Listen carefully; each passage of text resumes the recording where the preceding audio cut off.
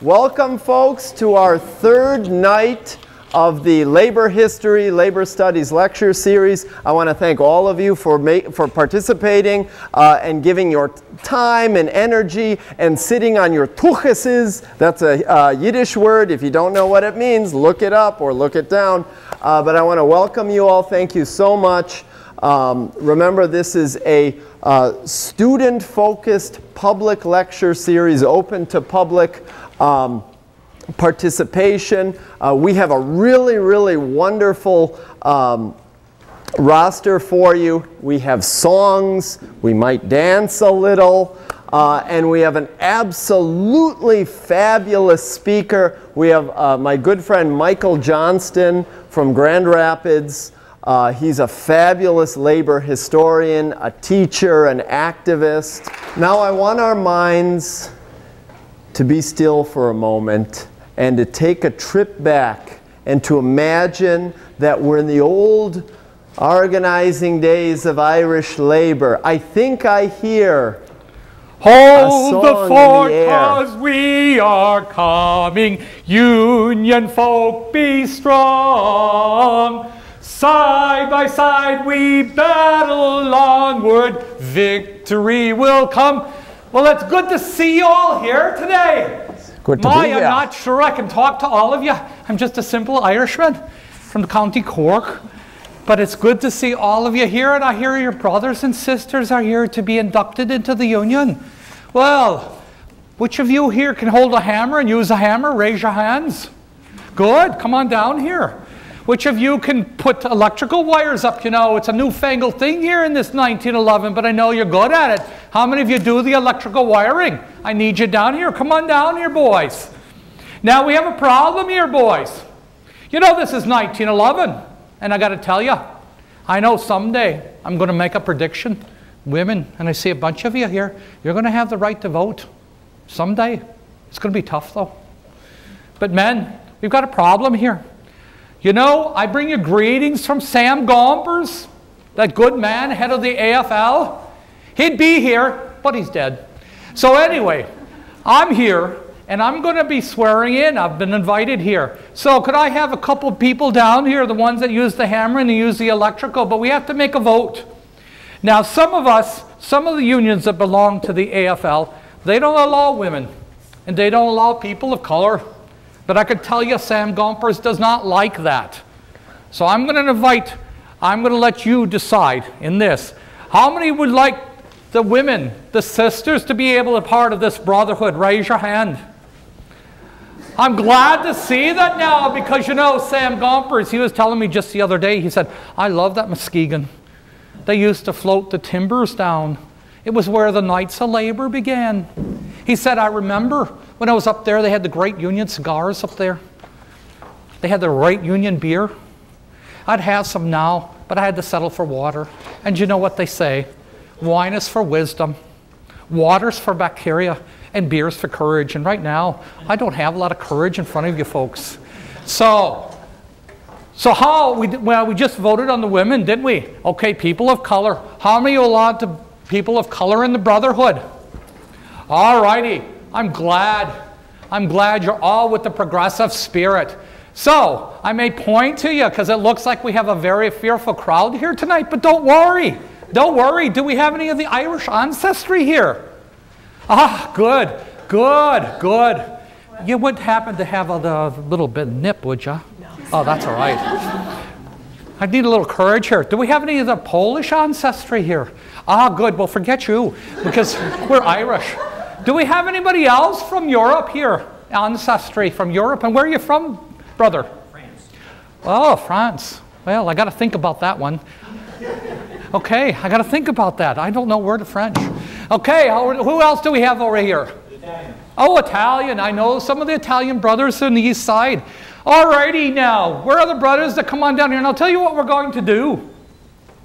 Well, you know, this is a brotherhood and a sisterhood here. And you know, not anybody can join the brotherhood or the sisterhood. They have to be a good mechanic and they have to be vouched for somebody. They have to ask to come in and join and then we vote on them. And you know how we vote on it. You all know the, you know the rules, but I'll just go over it for a minute. So you remember this, lads?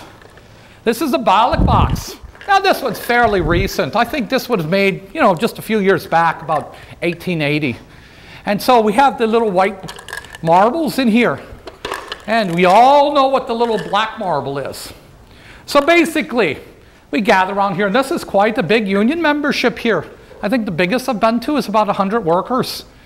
And we gather around, and then the person who's to be nominated is escorted out.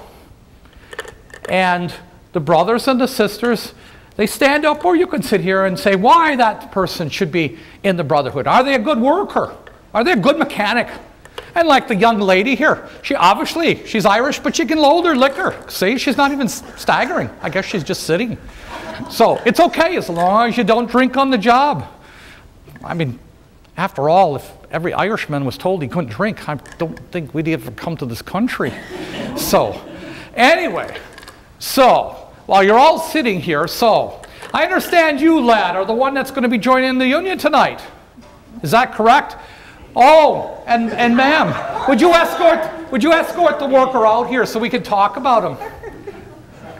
Oh, well, that's all right, ma'am. Okay, we, all right. Would you escort the worker out? He's a sergeant in arms there. You see Come his on, arms? boy. There we go. Stand Now, up if you don't boy. mind, you could stand up and just talk loud. Do you all know the worker here? Now, he has to be on the outside, sergeant at arms, so he doesn't hear us talking about him. Because we might say bad things about him, but hope not. So, do we have any fellow workers here? What kind of worker is he? Because we don't want slackers to join the brotherhood or sisterhood, because they make us all look bad. I'm sure you know that. Yes, sir. What do you have to say about the brother? He's a good man. He holds his liquor. All righty, that's good. That is very good. What else? What else? What is that, sir? TP's wife. Ah, well, we don't care what he does off the job. How is he on the job? Uh, he's, he's fine. He's fine. Good. Another brother says that. What else do we have? Do we have a sister? Yes, sister. He's slothful and he loses his uh, tools. Ah, that's not good. We can't have that. You know, when we get those contracts, and we don't get contracts yet, but that's another thing I'm predicting. Someday we'll have it in writing. Now we just do the handshake. Well, okay, that's not a good sign. Is there any other brothers and sisters? All right, I'm going to go around. Now, this is a big meeting tonight. Now, remember what you do. You take it out of here. White means you accept him into the brotherhood, sisterhood. Black means he's been blackballed. That means he can't join for a while. Okay? And what you do is you put it right into this little hole. And then when it's all said and done, we'll bring the brother in. And I'll, I'll look at it and we'll tell him whether he's a member or not. Is everybody with me? All right. You sure you don't have another, you don't have a drink somewhere, do you? All right. I think I'm going to do okay. All righty. I'm going to go around and I'll probably skip around so all of you. Let's start back here, my friend. All you have to do is take one of these and put it right in there.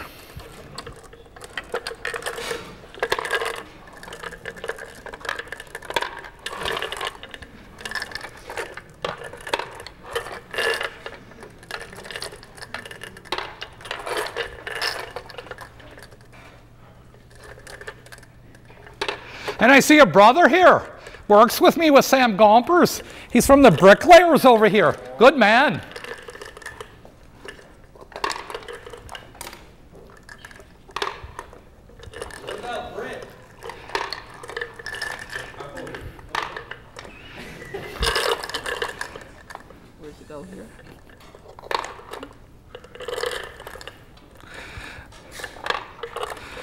But have you heard the good news? The boys in Grand Rapids are holding out. I just was there. Now they've been on strike now for over three months. And you remember, you've been reading it here in the papers in Muskegon. They're trying to get the nine hour days at 10 hours pay, but they're holding out. They've not had one cross the picket line. And you know, it's quite, quite something because you know about Grand Rapids, you know how it is over there. All those Dutchmen over there, they're all Protestant. They're not like us good Catholic Irish. But you know, the good brothers, the Polish and Lithuanians, they're Catholic. And they went all out together. Of course, they don't like to stand next to each other and talk to each other, but they know a good thing. So they've been holding out.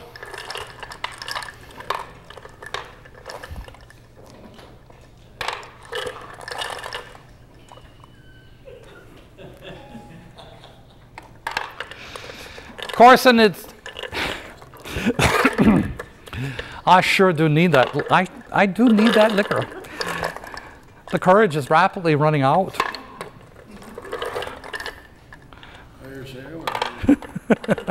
well, well, absolutely.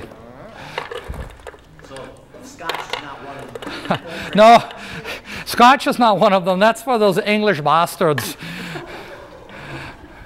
I know many of you came over on the starvation ships. And you remember what that was like. Those English bastards, they took our land and they let us starve when the potatoes went bad.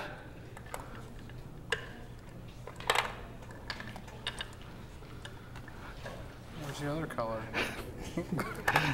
this is red. Excuse me. And I'm going to quickly jump up there since we don't have enough here for everybody. So we'll just have to go with how many there is. okay.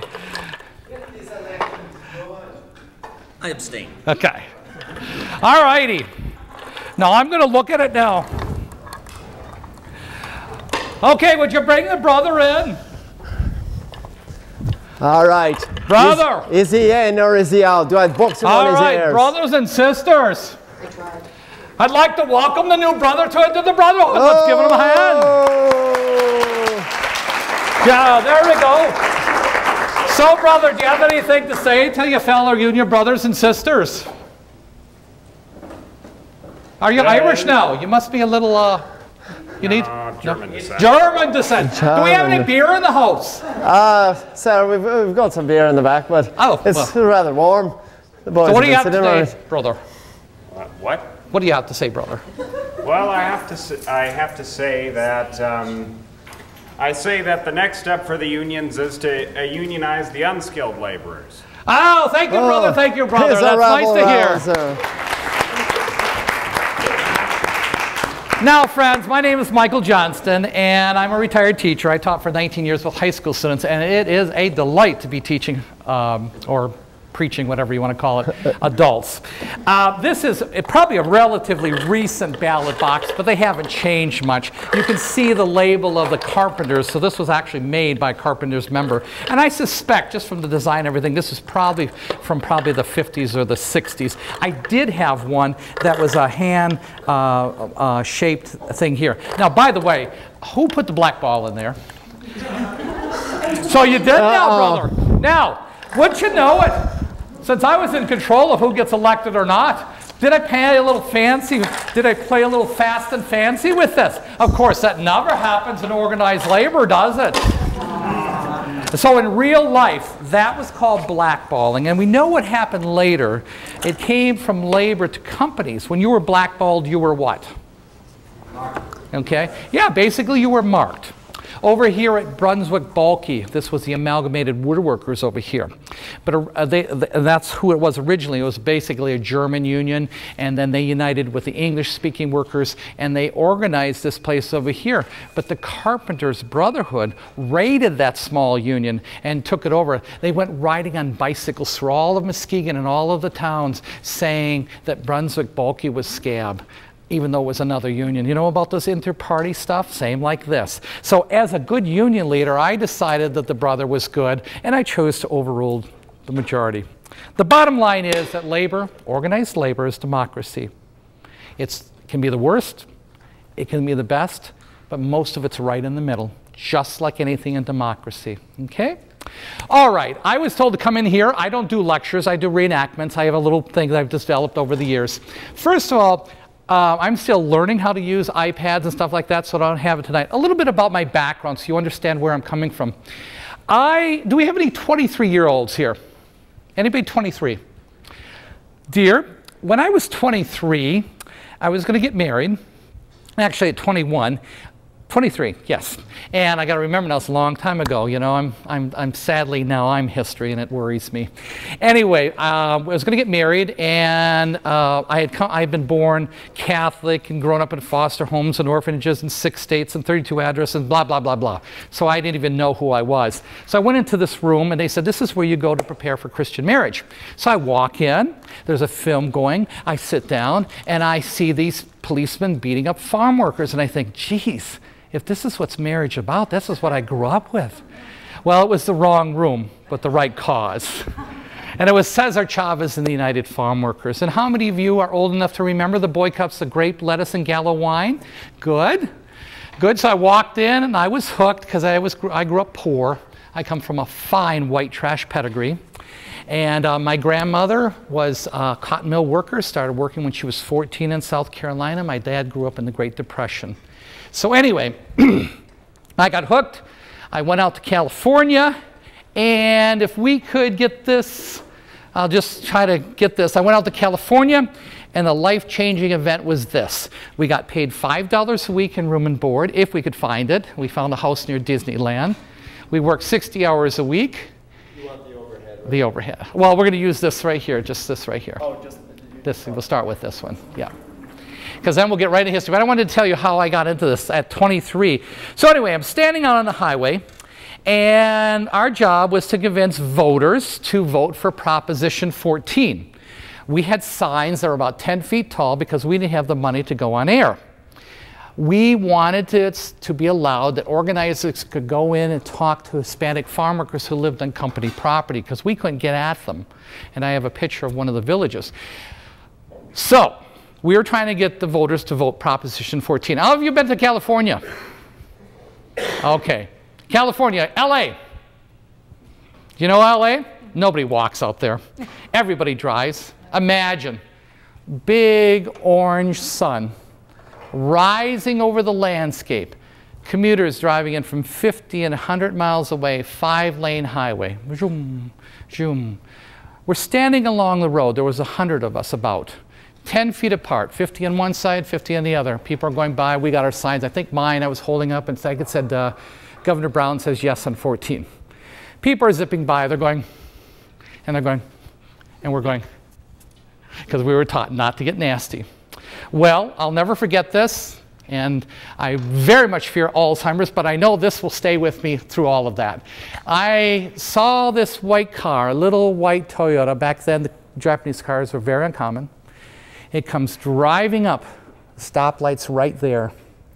It drives up, and for most of you folks here, you don't remember this, but in the old days, back 30 years ago in 76, they used to roll windows down. My students didn't remember that. So, anyway, I see this car come up. It stops. I see the woman lean over and she starts rolling down the window. And for you folks who are ancient like I am, do you remember what that usually meant if you were standing on the road and the car kind of moved towards the curb and we're rolling down? The, What did that mean? You're a youngster. You know your history. Or herstory. What, what does that mean? They want to talk to me, and that's what I thought. So I took my sign, I laid it down on the pavement. I had shorts on. Imagine me 30, 30 pounds lighter, because you don't eat very well when you're making five hours a week. I turn around and I, I come down, the window's down by this time, and just as my face came to the window, I saw her hand go to the glove box. She opened it up and she pulled out a pistol and she pointed it at my face about that far away. Okay? She points it at me. Now, what I do remember, my students would ask, Well, did you jump at her? Because that's what they do in the movies. Did you strangle her? No. Did you? Did, I said, Well, good thing I didn't eat that morning because you know what would have happened. I just stood there. That gun was in front of me. But I do remember she had a nice blue blouse on, nice blue skirt, looked very suburban, maybe upper class. And this is what I do remember. She had hair kind of flipped back. And just this last presidential campaign, she looked identical to Michele Bachmann. Maybe it was her mother, her grandmother. Anyway, she pointed that gun at me. I stood there looking at it, and it was forever, at least an hour. Well, it was the time of the light to change from green and red. And I vividly remember her taking the gun, putting it in the glove compartment, patting it, and driving away. I'm still here because of that. Because at that moment, shortly after, I had to make a decision at 23 years old, newly married two years, was I willing to die for a cause? Hell no! But it made me realize there were people willing to kill somebody else over ideas. I don't know what her issue was. I still don't know. I was so stunned. I stood there. I didn't even have enough thinking to look at the driver's the license plate because that would be what today an assault, wouldn't it?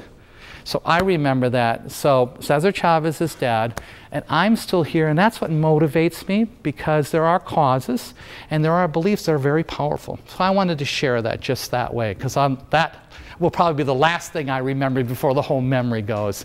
Anyway, so let's talk about a little bit about these people who died for labor because people are still doing that. Now, you folks covered last week.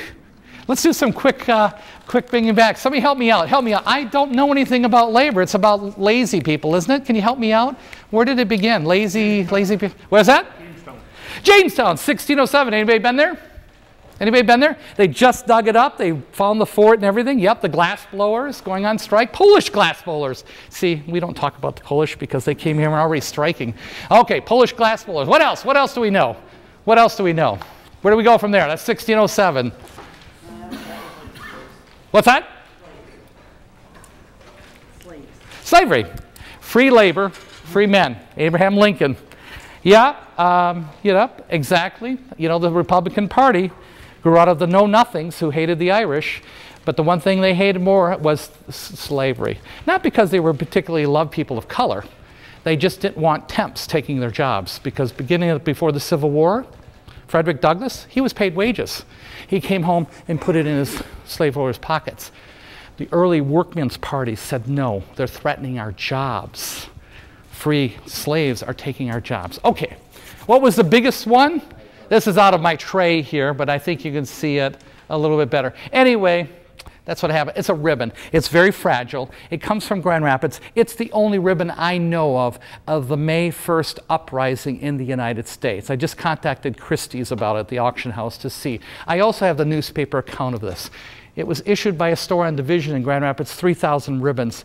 It was because Grand Rapids, Grand Rapids, conservative Grand Rapids, my thesis is called non union Grand Rapids 150 Years of the Big Lie, and it's about this thick. Do you think it was subtle enough? The title. And I went out to document it how it's not that conservative. Anyway, they issued that ribbon, and the marchers took those ribbons and they put them on their shirts. And the eight hour day was like an uprising. And the unions of the time, I will show you after this, Terence Powderly, he said, Oh, I love the eight hour day, and then sent out a letter to all the Knights of Labor, the largest organization at the time, huge in Muskegon. It started here in Muskegon, the Knights of Labor, huge group. It actually started in Philadelphia, but one of the biggest groups here was in Michigan, um, Muskegon, and then it went to Grand Rapids. He said, ignore it. It's too radical. But the other workers loved it. And so on May 1st, 1886, Philadelphia, New York, Milwaukee, Heartland, Chicago, and I'm going to argue in my book, the first city of the eight hour day, Grand Rapids, Michigan. They issued these ribbons. This is the only one that I know exists in the whole world. And then, of course, May 4th, somebody threw a bomb, and it was a you know eight-hour day rally. And then the Knights of Labor got painted with it. They quickly declined. May 1st, May Day disappeared. The communists took it over, made it a holiday. The rest of communism is gone, but the rest of the world sells May 1st as Labor Day. We're the only ones in the world that don't celebrate May 1st. But that's proof here in West Michigan, and Muskegon was celebrating it too. Okay? So you get to see it here, and unfortunately, you can even see the pin that says Jobs, Peace, Equality, and it says International Working Day, May 1st. It is the global Labor Day except in the United States and I think Canada. Okay? And that is such a horrible, horrible, horrible. Um, while we're at that, can you see up in the top corner up there? Do you see where it says textile workers? I am for eight hours. So when does anybody here? You know, if you were my students, I'd be having, I had prizes and candy. They were high school students, but they love that. Pezzas, they love Pezzas. Do they? I wish. See, if I'd known, I'd bring the Pezzas. Does anybody know when legally the United States got the eight hour day? It was written into law. Now, you know, I never picked on my students. I never said, no, I would do it. I say, now, brothers and sisters, help that person there. Don't let them hang there. Okay, so I'm going to pick on him. And then, okay, all right, take a guess. When did we legally get the eight hour day? And don't let him struggle here because we're all together in this. Help him out. Take a good shot. 20th century? sometime between 1600 and 2010? Okay, it's 1600, 2010. We're narrowing it. Can we narrow it a little bit better? You know, that's a good guess because if you will go up there and show you, that's a good guess because one of the unions did. The mine workers declared we're going to have the eight hour day and they enforced it. And I have one of those pins. Oh, hold on, hold it, hold it. Okay, hold this thought because we're going to have to jump around a little bit. And at any time, stop me if I'm talking too fast, okay? Because I tend to do that. Without my liquid courage, I just. All right. The eight hour day, officially, legally, this is going to shock you. 1939. Isn't that shocking? I mean, this is the United States of America. They tried it at May 1st. Grand Rapids got it for a month, and then the uh, manufacturer started backsliding. And so from May, June, and July, there were strikes and everything, but we lost it in May. Then Sam Gompers said to the United Mine Workers, Are you strong enough? Can you get the eight hour day in the mines? And they did. And I have a pin with that on it, if you'll keep going. Yeah, we'll just race through that and race through that. Oh, right back, back. Do you see it? April 1st, 1898, eight hours. They got it. That's an original mine workers pin. And I'm damn proud of that pin too. And then you see next to it, January 1st, it doesn't have the date on it, but that's the typographical union. That was in 1906. They were strong enough to get the eight hour day. So now you know, proof certain, that organized labor got the eight hour day. So next time you tell them, you've seen it here. And if they don't believe it, you have them call me and I'll chew them out, okay? So right there. But most workers weren't organized and were not able to get it. In 1911, when these furniture workers struck, they were trying to get the nine hour day at 10 hour pay and they lost. And that was 1911. So the struggle for the eight hour day, just the eight hour workday, was horrendous. That's just eight hours. Now, what are we doing now in the year 2013? Which way are we going? Less hours or more hours? Yikes. Now, I want you to notice something else here. I do, um, I have a, a, program that I do called Frankly Speaking, and normally I start with, I normally, that's all right, I hit it by accident. I normally start with Benjamin Franklin. I read somewhere on a Tea Party site that said, don't talk about Franklin, he's a socialist. So immediately I had to go and look at Franklin, see if he was. And yeah, kinda. But he did form the first union in North America, Franklin Typographical Society. He had the strikers of 8, 1786 at his house. Well, if you look at this pin far on there, it shows the US Capitol and says Washington, D.C. What you can't see, now it looked good on my camera, what you can't see this is local 102 or 106 of the typographical union. Before it was part of an international, it was a local union, 1815. This is a direct descendant of Franklin's Typographical Society. What's my point here? Remember we said unions are what? Democracy, aren't they? Well, here's a direct tie-in all the way back to Franklin.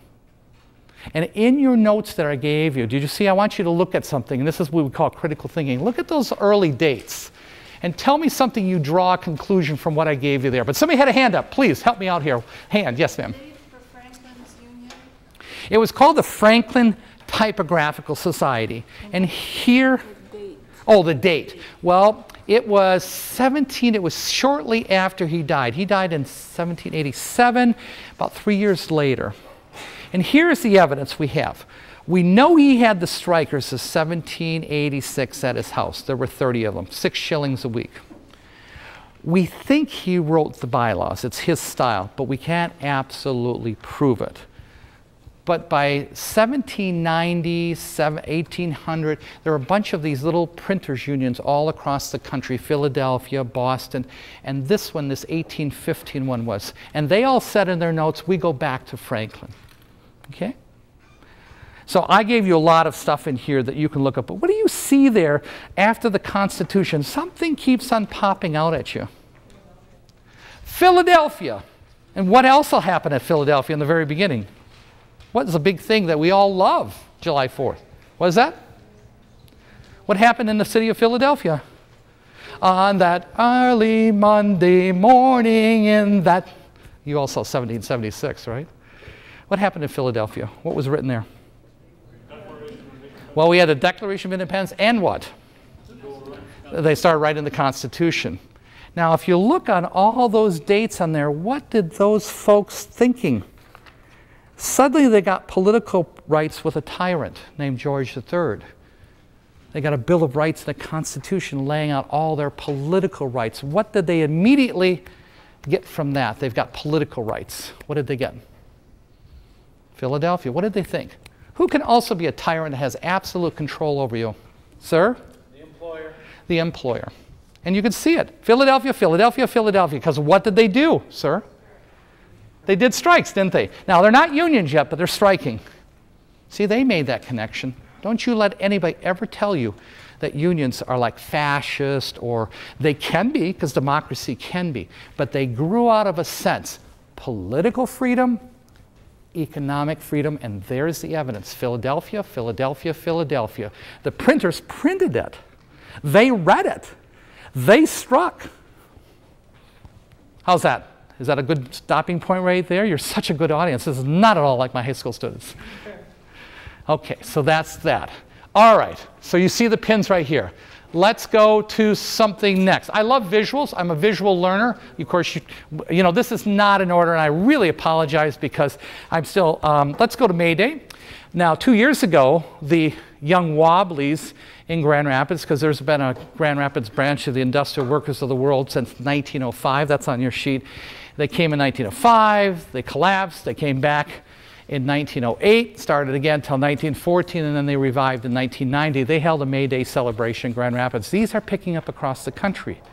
We're trying to reclaim what we created. We started it.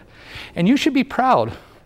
Muskegon, Grand Rapids, right along this coast was May Day, Knights of Labor. This city, 1884, was one of the heartlands of the Knights of Labor.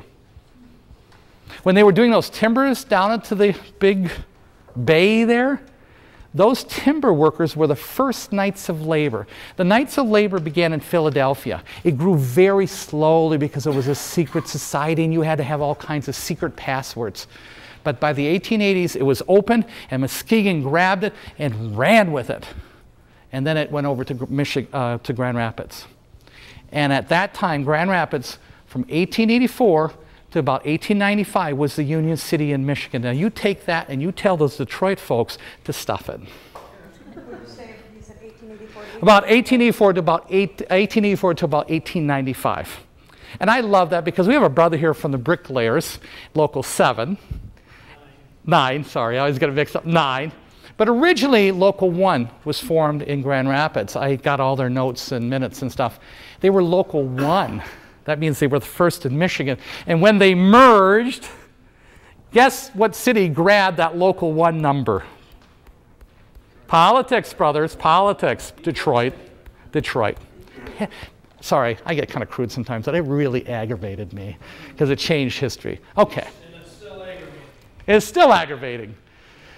You're going to find surprising things about this west side of the state. How many of you have heard over here? This is a very, not Muskegon, mind you, I love blue Muskegon, but outside of Muskegon, Ottawa County, uh, how many have heard this is so conservative, unions have never taken hold here? No? So you're in Muskegon. You'd hear this in Grand Rapids. It's one of the myths. It's not true. Whitehall, Montague, Muskegon, Grand Rapids, Knights of Labor. Did you talk much about the Knights of Labor? Got into 1886, Haymarket, August Spies and the others were, were hanged, killed, and then Altgeld uh, pardons them, and we're done. That's and, it. And well, you. they were unique. They shot up. They started out very small. Grand Rapids had 11% of it in 1884. Grand Rapids elected every city official, county official, every elected official was a member of the Knights of Labor in 1884. They dominated the town. And then by 1886, they hit the peak and they just went down because of Haymarket. They were an amazing organization. Anybody can join except for lawyers because everybody knows they're crooks. Saloon keepers, because you know what saloon keepers do. And landlords. But other than that, you could join. Even manufacturers could join. And lots of politicians join. It's a model that people are looking at again. I want you to hold that thought. They're looking at it again because it was a consumer society. Consumer society. Now, you saw me wear a hat. In those days, from about the 1880s on, you knew which class you were in. You were either the vast working class trying to organize a decent living, eight hour day, or you were the wealthy, the 1%. Oh, wait a minute. Oh, wait a minute. That's like today, isn't it? Okay. Well, anyway, you can tell where I'm coming from. Anyway, I want to pass this hat around. I understand your professor has a wonderful hat. This one's stiff because of old age. Be gentle to it. You can wear it. But you'll notice in it it has the Hatters Union label. A good union man would not be caught dead not buying union cigars, which were made in Grand Rapids. I have two boxes because they were cigar makers. Your hat was the Hatters. So I'm going to pass this around, and when you put it on, it's a real, it's a way I do this. You put it on, and all of a sudden, if you're not pro-union, it's just going to shoot waves through your body. Okay, here we go. So we'll pass this around. You may try that on. Be gentle though, because I, I you can see the labels right here. So there you go. You bought union label stuff the era from that time, about the 1880s till about 1910, that actually meant something. Manufacturers actually approached unions and said, We'd like to advertise in your journals. And when a union called a boycott, and the Knights of Labor were the best ones doing it, the manufacturers quaked. It meant something. Yes, ma'am. How did it migrate from, you said it started in Philadelphia, Knights of Labor? Yes. How did it migrate to Michigan? Was that because of the lumber industry? You know, what they did in those days, how they did it, because, of course, people didn't make a lot of money and the dues were very small. The, night, uh, the Knights of Labor, I believe, were not even 10 cents, 10 cents a month, but that's a lot when you figure people were making 40 cents a day. And so what they did is they said, you sign up members, you get a commission. So they'd have these people rush in, sign everybody up and their brother, and that's how the numbers shot up. And that's how he did. But also is because this idea caught on. In 1884, the Knights took on one of the biggest railroads. It was the Gould system. It's on your thing there. And they won. Up to this time, here, I want to tell you something. You can write this down. Most unions throughout American history lost their strikes. How do they start? Like the, the printers. Hey guys, come on out, come out, come out. All right, you come out, you stay out for a day, a week, two weeks, because you don't have any money, you don't have insurance and everything, then you go back. Strike collapses. People get tired, they get weary of the long hours, the low pay, they strike again. And this was it for like a hundred years. Call them out, strike. Then they started putting it together. We're kind of slow that way. Maybe if we link up in the cities and do citywide, and that's in your 1830s, the workies. Let's get together. But even that isn't strong enough. It took a while before they finally figured out they have to work together. Okay? But the Knights spread by word of mouth. The timbering was a horrendous work. Very, very destructive. And ironically, you know what it was? It was hours and wages. Did they care about uh, safety back then? No. They thought it was inevitable. You lose a hand, you lose an arm, what, what the heck? They didn't even try that. But they figured if they could reduce the hours, they could reduce the time. Have I said anything you haven't heard yet? Because anytime you want to jump in, okay? Because I'm not used to doing this style, I'm used to very hands on, okay? All right. Now let's go from that.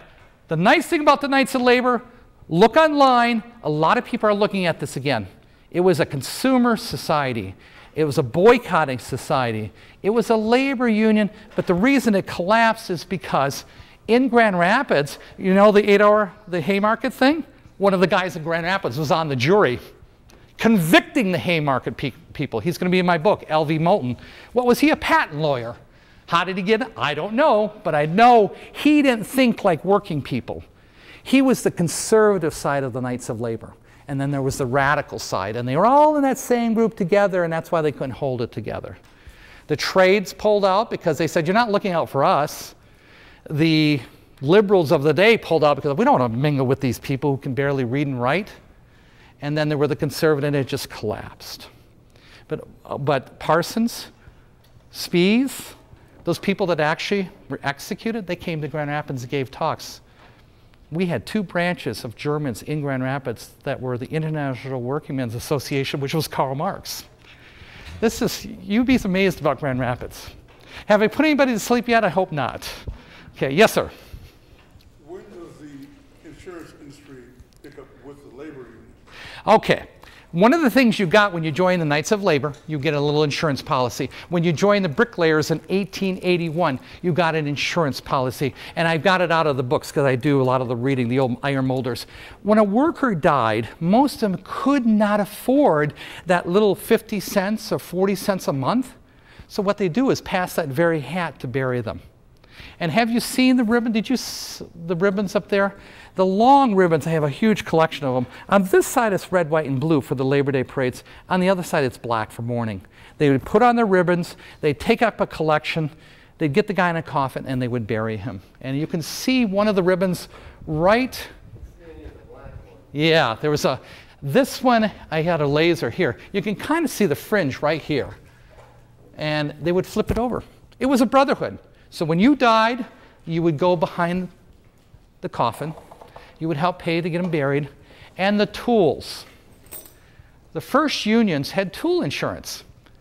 Because when you went on strike in the furniture strike of 1911, you went in and got all your tools and you took them and put them in the wagon. The company didn't provide tools, they didn't provide aprons, and you took them out.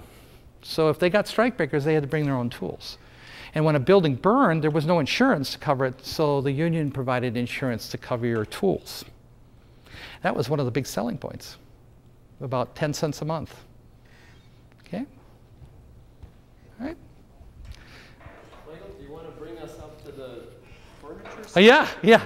Well, again, you know, a lot of this throughout the throughout the whole era. What you see now is this union right here, 50 people here. This is a big union prior to the 1930s. And in Grand Rapids Fairplain Cemetery, to this day, you go there. There's a typographical union number 39, which means it's a very early one. Because if you want to know, look at the numbers of the locals. Generally, it goes number one, oldest. Not always, but generally 39, very early, 1850s. There is a site, empty. I'm looking to hog that site. Anyway, it's there. And they would do this for people because you could you needed each other. You weren't making good wages, and the typographical union was the highest skilled. Did any of you know what a, a, a, linotype machine is? You type this Rube Goldberg machine. We used to do it with our labor paper, clattering, rolling around. It melts the lead, makes a strip. You saw it. You put it on there. You put it on a big plate, and you run the paper across it. Highly skilled. They were making five dollars a week in the 1910s, so they were right at the top. And did you know they had two political parties in the union? The Blues and the Greens, to keep it honest. Okay. All right, 1911, basically 10 hours they were working, wanted a nine hour day. They were Polish, Lithuanian, German, and Dutch. The Dutch were Protestant, Christian Reform, and in the old world they killed each other. They killed Catholics. They came over here, and that's why the furniture manufacturers hired them. Because if they're Dutch and they'd been here a while, they were the cabinet makers.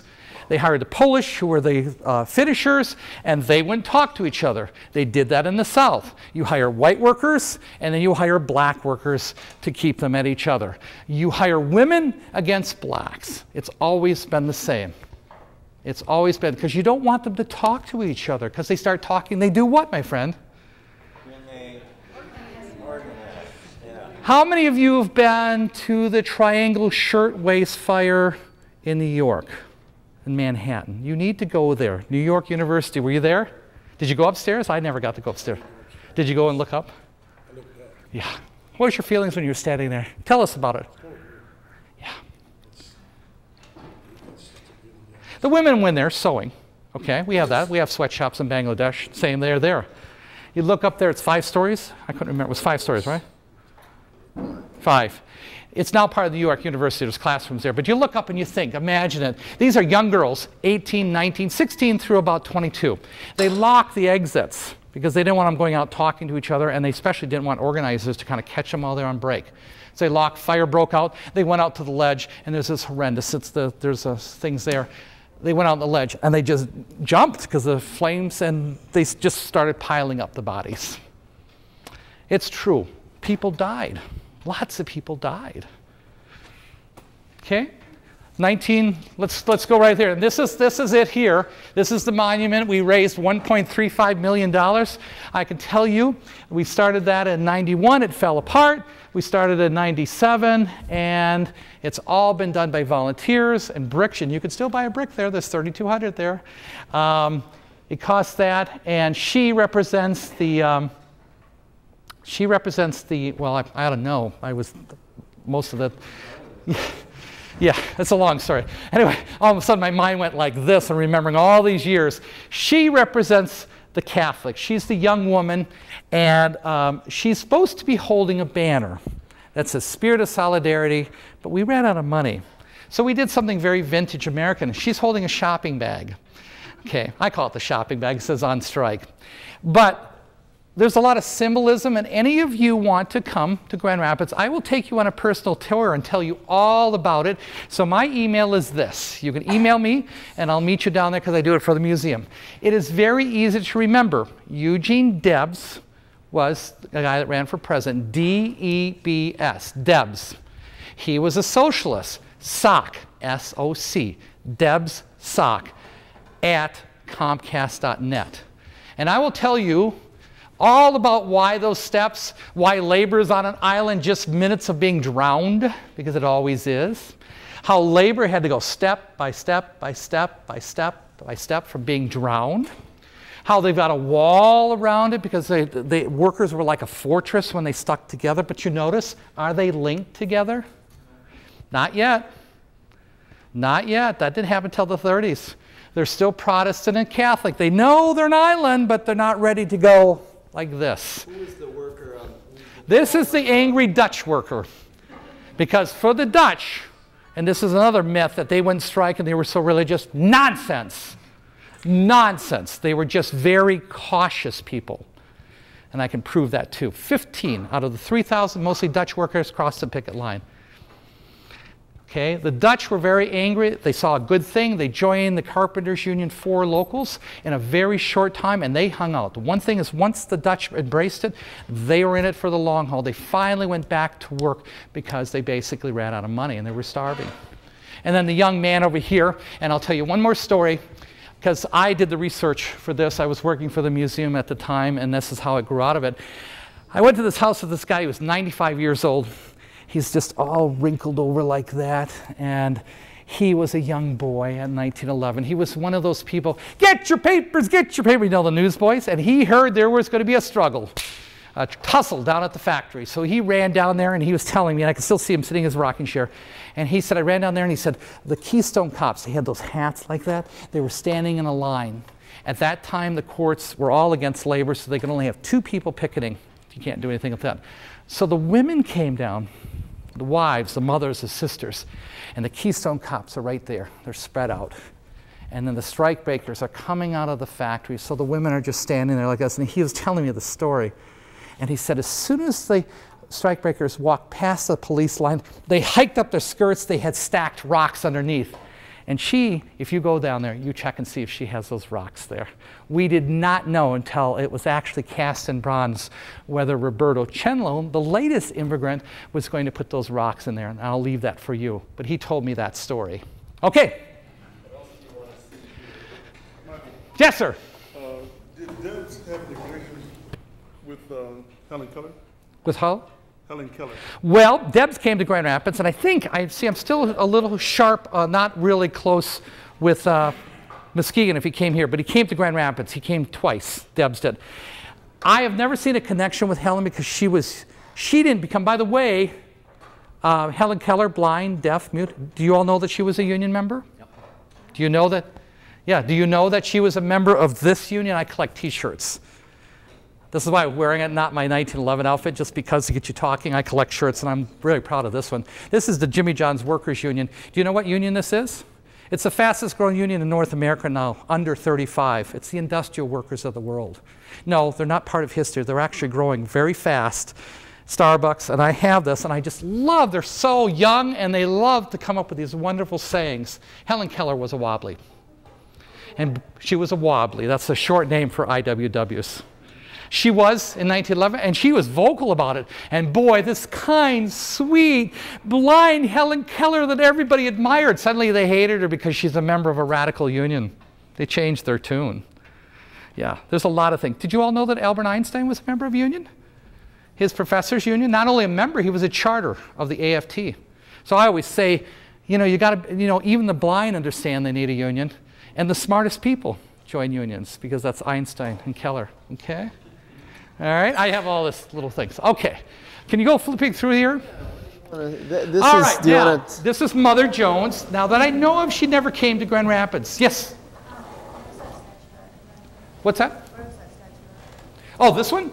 If you go to downtown Grand Rapids, right in the heart of the city, all you have to look for there's the Amway Grand Hotel over here, there's the Marriott Amway over here, there's the Amway Museum over here, there's the Ford Museum over here, and in the midst of all these rich people and their things is the spirit of solidarity. Do you like that?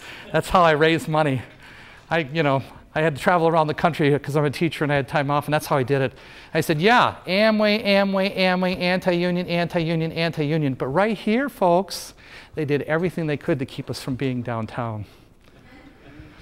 Yeah. It's right next to the Native American. Mound, burial mounds. Absolutely. uh, And now they're not- away. Just merely And they used away. that in the beginning. The parks person who was very hostile to organized labor said, because I'm the director of the society, she said, "Well, you got to get the Indians' approval." So we went went to a Native American meeting, and most of them were union members. Said, "Sure, sure. Just remember to put a little plaque that honors the Turtle Clan." We said, "Fine, no problem." Then when they did that, they came up with another reason and another reason. So finally, we got our act together and we elected people on the city council that saw things in a broader view, and that's how we got it through. Now, Peter Secchia, you ever heard his name? He, he's like with DeVos and Van Andel. And I want to thank them because they revived downtown, so don't get me wrong about that. I just don't like their politics. But Peter Secchia is like them. He said in the paper, I have a huge file, he said he was so angry about this labor monument in the heart of the city. He said, We need business leaders. And that's okay, we do. So there was an article in the Grand Rapids Press about a month ago, and it shows all the monuments he's been paying for. And it's just like he's surrounding us. There's all these dots all the way around the Spirit of South. Maybe he'll get us so thick you can't get through and see it. Okay. Um, I only showed this here because when I had my students, um, this is Mother Jones. Mother Jones, you all know who Mother Jones was? Started at about 60 years old. She didn't start out to be a labor activist, but she lost her whole family to yellow fever, and then she lost her sewing shop in Chicago. It was burned down. And then, starting about when she was 60 years old, she started calling herself Mother Jones, and she became a labor activist. For whom did she work? Well, she started out with the Knights of Labor. Because that's the one thing I want you, it's on there, a lot is on there.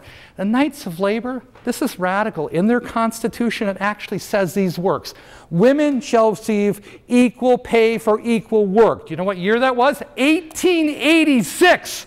Do women still get equal pay for equal work today? No. Oh, That's 1886. When it comes to working people, it's very slow. Democracy is very slow. Yes.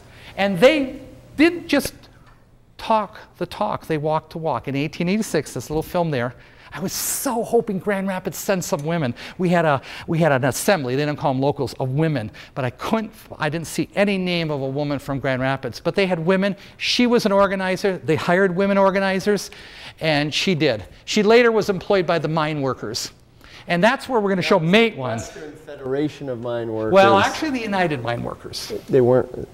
She went for both. She did well, both, but they mostly were the you earlier ones, Yes. though, out in Ludlow Yes, in yes, in Ludlow. Where do you want to Keep go on going, now? keep on going. That's there's Mother some. There's some old pictures. I think you're in some of them. Now, the re- I told you I'm history now. I'm old because, see, in Chicago, if you go to the first floor, it's all about social movements. I'd highly What recommend it. What museum it. is this? This is the uh, Chicago City Museum. First floor, wonderful. Suffragettes, farm workers, labor, Brotherhood of Sleeping Car Porters. And I just had to take a picture of myself with the displays because I'm old and I'm history. So there you go. See, I work for that. You should have left the relic there. There, yeah. yes, exactly. That's Dolores Huerta, and I'll tell you a little story. No, that, I won't tell you that story yet. That'll be later. I don't want to confuse you. We'll stay in the, before the 1930s. Okay, just keep going. These are not organized. Agnes Nestor, she's from Grand Rapids.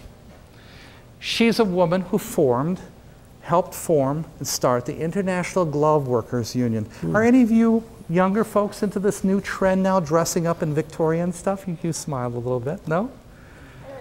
Yeah, what do they call that? What do they call it? They got a TV. What's that? They're all into Victorian stuff now. Well, Goth. they, they have to wear the Goth long gloves. That she helped organize. She left Grand Rapids. She went to Chicago. Yeah. Well, The union was never more than 8,000. There's but that's similar movements. Don't get She ran started. for state representative Agnes Nestor from West Michigan. The International Glove Workers Union, clever name for gloves. And uh, yep, she came from Grand Rapids. Okay, go ahead. This is the, you know, this is not in order, but that's the Haymarket Monument today. For years, it was a statue of a policeman. I just think, you know, how history could be changed. Go back in the time machine and find the person, and I think it was an agent provocateur, because the thing was, they, they had had um, the, the, the guys had been standing on the wagon, haranguing the crowds. It started to rain. All the crowd started to leave. The policeman came down. The police chief looked around and said, There's no trouble here. It left. And all of a sudden, when the crowds were just almost gone, somebody threw a bomb. And of course, it killed policemen and killed workers. But of course, in those days, the people who weren't even there were accused of doing it. The guy that came to Grand Rapids all the time, Spies and Parsons. And in fact, Parsons didn't even know about it, then heard that his friends are being tried for this. He came back and said, Here I am. I wasn't even around. They put him on trial and the other people. And there was no evidence linking them to the throwing of the bombs, but they had radical ideas. So they were executed for their ideas. That's why the governor, that's why the governor exonerated them. Of course, he lost office because of that. Okay, that's the monument. Now, that's me and the farm workers when I was about 20. It looks like the 70s, Michael. Yes. That's me out in California. That's in Myers. This is in California. Interestingly enough, we went out there. That's yes on 14. We're at a table. That's me. Interestingly enough, the woman is from West Michigan too. I called her up 50 years later and said, "Do you remember that photo?" Anyway, that's we were all five dollars a week, and I just threw that in there. I started at college to get people to boycott grapes, lettuce, and gallon wine. This is the one and only time I met my employer.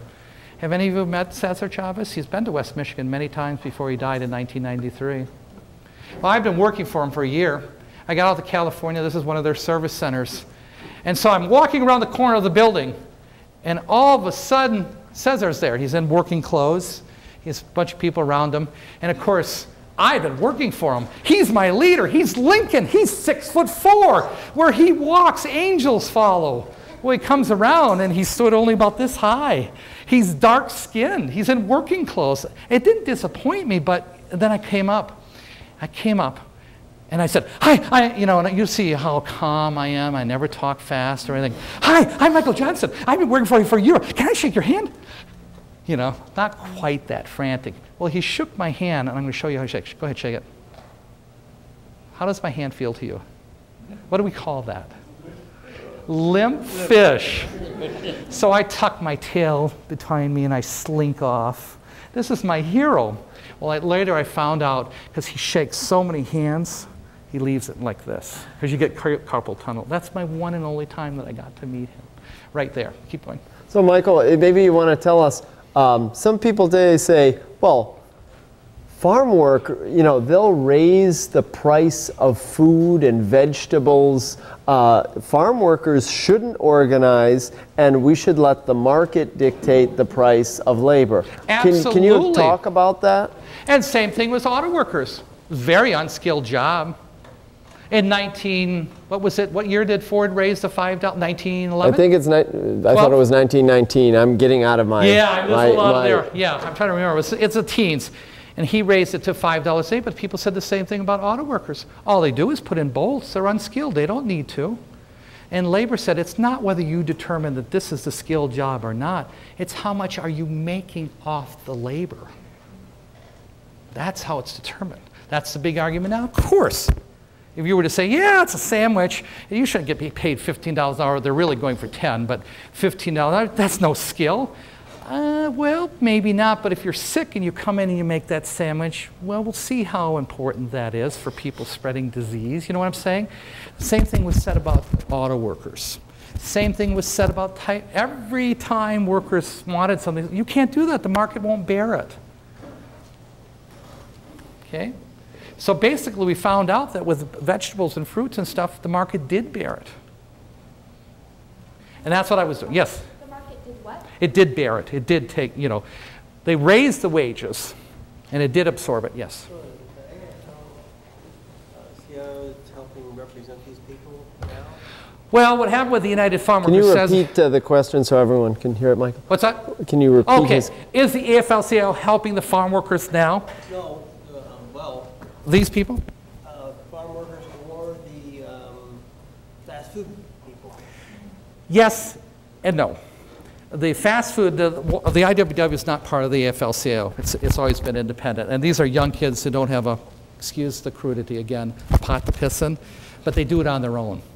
They organize, I mean, I just love these kids. And I call them kids. A lot of you are, you know, 20s, 30s, because they went to school, they got college degrees like my daughter, $49,000 in debt. This is a real job. They need to make a living. They got to pay rent. And they know the CEOs are making 10 or 15 million or 20 million. They can afford to pay more. They're independent. Some of them are backed by the same people as the union in Meijers. Uh, there's about a half dozen organizations. Farm workers, there's groups of them that are farm workers. In Ohio is FLOC, Farm Labor Organizing Committee. That's a union of farm workers. They're trying to organize the tobacco workers in North Carolina. These are the women who just organized Star Tickets in Grand Rapids, Michigan. The shop only has 12, but the owner, he's a millionaire. And you know what one of their big demands was? We've got antiquated computers. We can't service our clients. Would you please change these? He wouldn't listen to them. So they, jo- they formed the IWW. They won the NLRB election. The next day, the owner fired the main one. Because the laws today are terrible, the labor laws. Okay. Well, he fired the main one, Deidre. The two of them that are still there, this is the one he fired, Deidre. Basically, they took it to the NLRB. He fired her, and it was so arrogant because he waited the day after the election just to show that he could. Because when the NLRB comes in, it takes a year to two to solve it. Basically, he. What was his reasoning? What's, uh, because, because, because, in, because, well, it's power because, do you all know the doctrine of, do you know the doctrine of at-will employment? Every state except Montana has at-will employment. Montana doesn't because the Western Federation of Miners used to control politics out there and said you have to have due process in Montana. It means that they can fire you for any reason or no reason at all except if it's written into law. So they can't fire you for religious reasons in Michigan because it's written into law. They can't fire you for race. So if they're going to fire you, I'm not firing you because you're Hindu or um, Mexican. I'm going to fire you because you've got dirt on your shirt and I told you not to. That's all you have to do. What's that?